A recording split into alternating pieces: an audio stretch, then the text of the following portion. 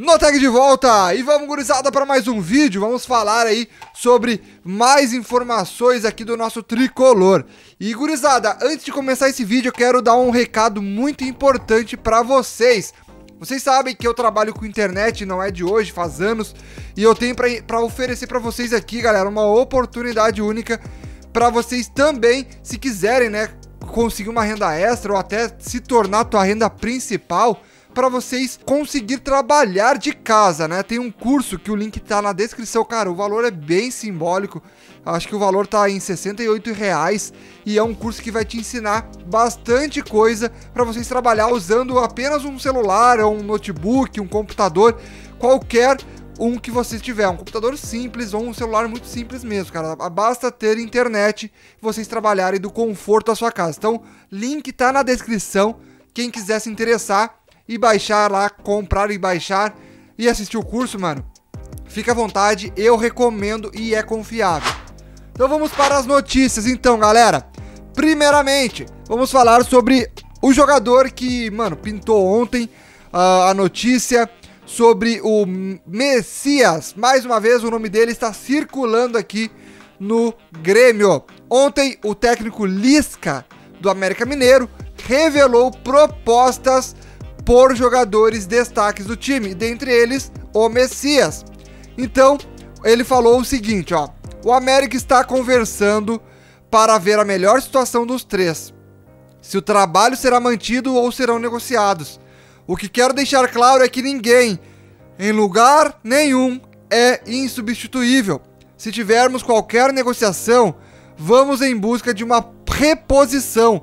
Acredito que até o fim de, do mês de março vamos ter uma definição sobre a situação dos três, que seriam aí o Messias, o Zé Ricardo e também o atacante Ademir.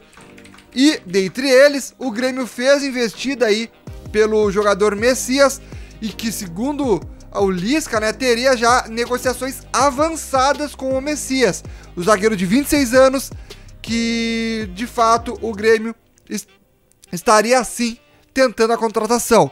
Hoje, mais cedo, o César Cidade Dias conversou, né, com o Romildo lá para ver sobre a situação. E teve aquelas negativas de não, não tá acontecendo nada, não falamos com esse jogador. Mas galera, a gente sabe como é que funciona, o próprio César Cidade Dias falou. A gente sabe como é que funciona as negociações do Grêmio. Às vezes eles querem esconder algumas e provavelmente acontece de chegar essas contratações e de fato acontecerem.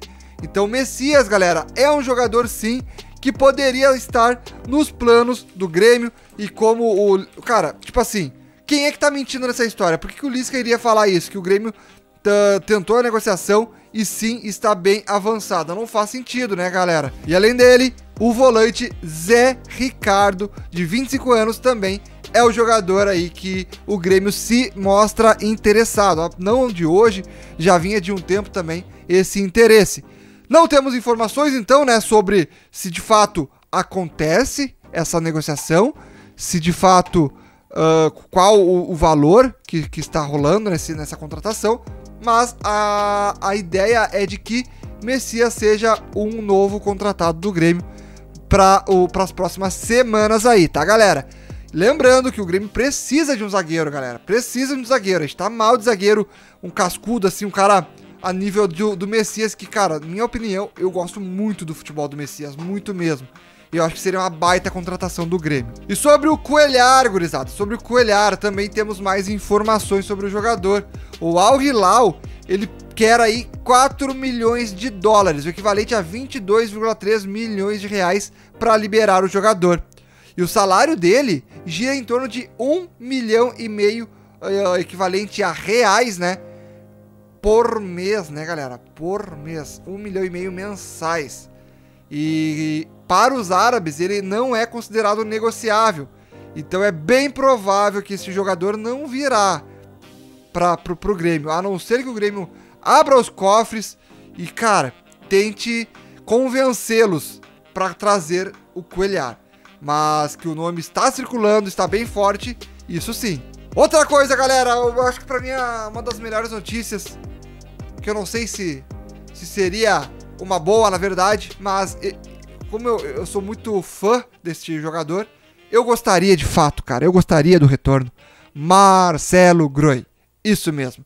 Ele tá com três meses de salário atrasados, galera. Marcelo Groi com três meses de salário atrasado.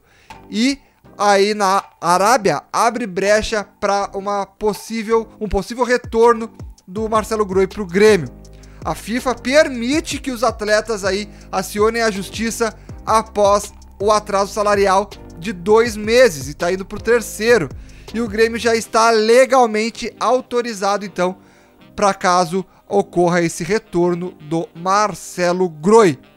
E caso o Marcelo Groi seguir em frente com o processo, o Grêmio tentará repatriar sim o goleiro. A direção gremista já monitora a situação do atleta. Além do Grêmio, o Flamengo está monitorando, galera. Então, isso é um perigo. Isso é um perigo. Perder pro Flamengo aí, perder o Marcelo Groi pro Flamengo.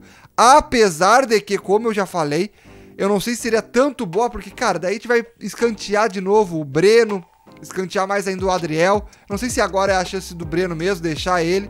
Mas, de fato, cara, a gente sente falta, a gente sente saudade aí do, do Marcelo Groi no time, né? É inegável isso.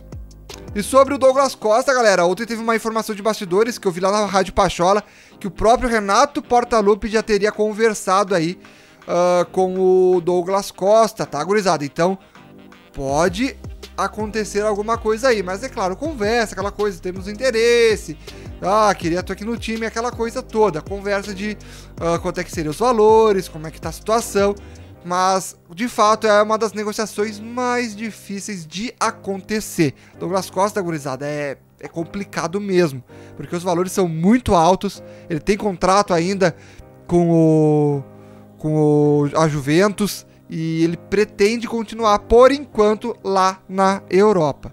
Mas vamos ver o que, que vai acontecer no desenrolar dessas histórias. Sobre o Gaston Ramírez também temos informação. Uh, foi perguntado ontem na entrevista pro Romildo Bolzan, o próprio presidente do Grêmio já descartou Gaston Ramírez. É um assunto do passado, encerrado e o Grêmio não tentará mais a contratação deste jogador. Beleza? As uh, prioridades do Grêmio são volantes.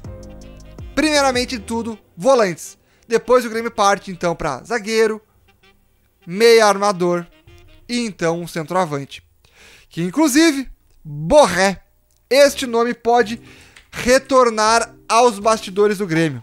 Por, por quê, cara? Porque o Borré já saiu dos planos do Palmeiras. Ontem saiu a notícia que o Palmeiras não vai mais uh, tentar a negociação deste atleta. E por que que o, o Grêmio não poderia tentar, gurizada? Então, cara, o Borré seria um fa de fato um nome muito bom aqui pro Grêmio, mas muito bom mesmo. Mas essa novela do Borré lá com o Palmeiras tá uma, literalmente uma, uma novela. Então a gente não sabe o que, que vai acontecer, qual vai ser o desenrolar do Borré por lá. Mas o Grêmio poderia entrar no meio para ver o que, que acontece, o que estão pedindo, se ele não teria interesse de jogar aqui no maior da América. Beleza? Gurizada, se inscreva no canal, deixa o like, não se esquece, link na descrição do curso aí para vocês aprenderem a trabalhar home office com internet. Um curso muito barato e que tem bastante conhecimento. Forte abraço, falou e fui!